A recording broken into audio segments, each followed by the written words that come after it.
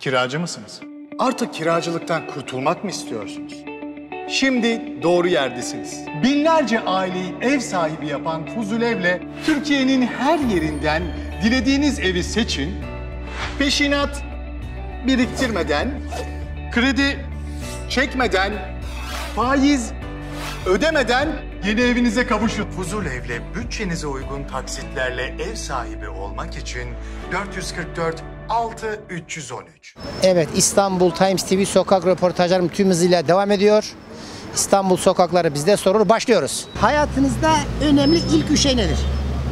Ailem, işim, sağlığım. En önemlisi İslam dinidir.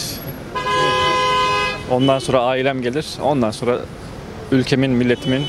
Gerçi en önemlisi milletimin, vatanımın sağlığı. Ailem, ülkem,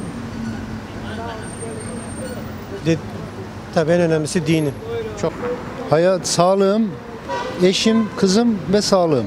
İlk önemli hayat standartı. Millet geçinemiyor. İlk önce onun şeyini yapmaları lazım. Ama o bir.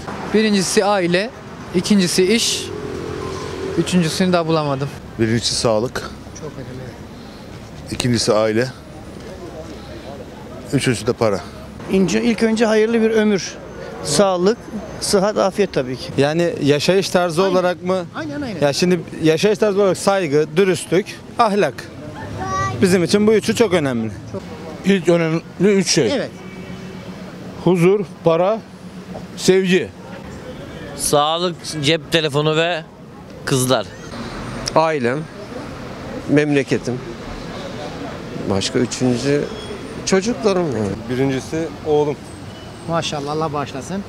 İkincisi ailem, e, annem, babam, eşim. E, Üçüncüsü de e, herhalde e, dinimizdir yani. Sonuçta Müslüman olarak doğduk. Şanslıyız. Şanslıyız bu konuda. E, Hayatımızda olabilecek en önemli üç şeyden La ilahe illallah. Muhammedun Resulullah. Bir. İkincisi sağlık, sıhhat, aile değil mi? Yani her şeyden evvel sağlık güzel. Tabii. Çünkü olmadan olmaz. Sağlık en güzel şey sağlıktır. Üç. İkincisini bir söyledi. Üçüncüsü ne? Ay, Şükretmek, Namaz kılmak abi. Namaz kılmak. Tamam. Ondan sonra sağlık. Sağlık. Ondan sonra da Allah'a şükretmek. Bence sağlık, huzur. Evet. Üçüncüsü. Din, mutluluk, huzur. Tabii ki sağlıktır, sıhhattır. Evet. iki. Ee, üçüncüsü de ülkemizde maalesef gördüğünüz gibi çok güzel şeyler olmuyor.